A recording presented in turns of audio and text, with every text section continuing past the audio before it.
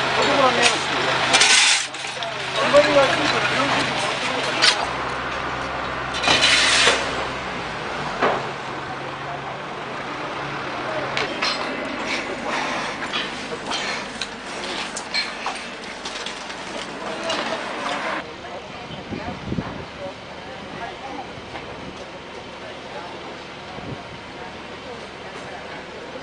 家の中はもうガラスが飛んでてガラスそれだけ片付けましたけど